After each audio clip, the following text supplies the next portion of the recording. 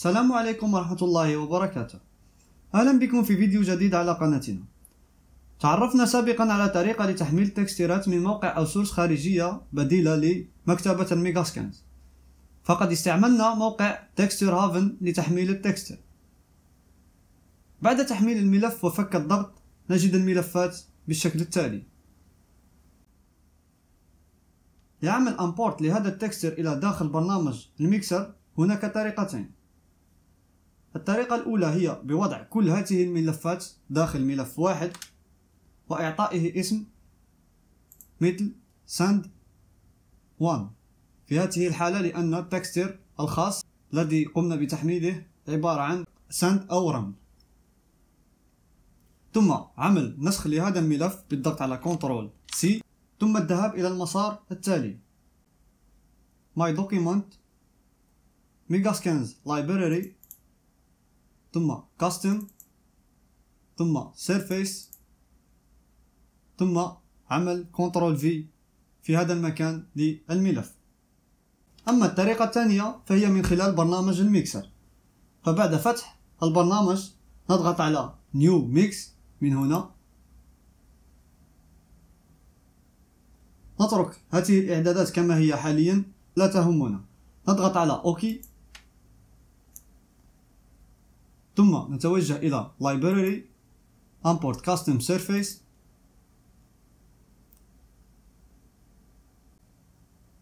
ثم نضغط مثلا على أي خانة من هنا من هذه الخانات. نختار مثلا Diffuse. ثم نبحث عن مسار الملفات التي قمنا بتحميلها.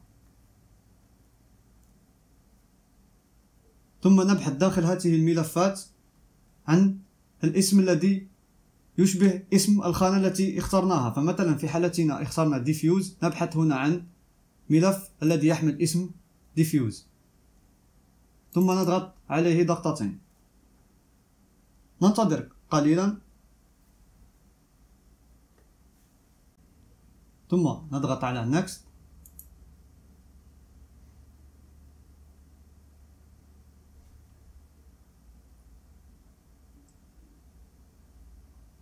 ثم تأتينا القائمة التالية. هنا في النيم نختار اسم لل texture وليكن sand 01 في هنا في هذا الخيار نعطي قيمة اثنان. في ال category نبحث عن الصنف الخاص بال texture وإن لم يتوفر نضيفه من هنا من خلال الضغط على new category ثم نعطي اسم الصنف وليكن sand ثم نضغط على أوكي.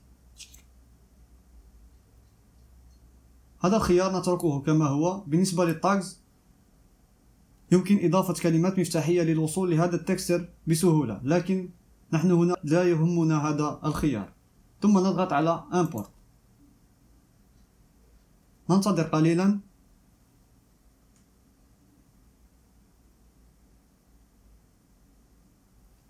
إذا هكذا نكون قد عملنا import للتكستر بشكل ناجح. نتوجه الآن إلى اللوكال library. فنجد أن التكستر الذي قمنا بعمل له import قد أضيف إلى مكتبتنا. وهو جاهز للاستعمال. إذا كان هذا ما لدينا في هذا الدرس. نلقاكم في قادم الدروس. بحول الله دمتم في رعاية الله وحفظه. سلام.